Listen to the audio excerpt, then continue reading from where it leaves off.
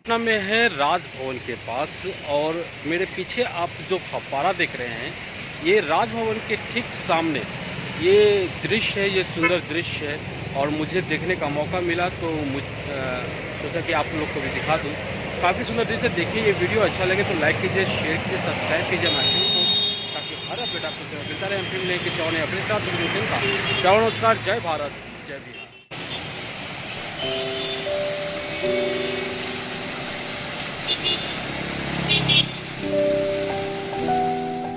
पानी का फव्वारा देखकर आपके मन में कुछ न कुछ तो ज़रूर हो रहा होगा।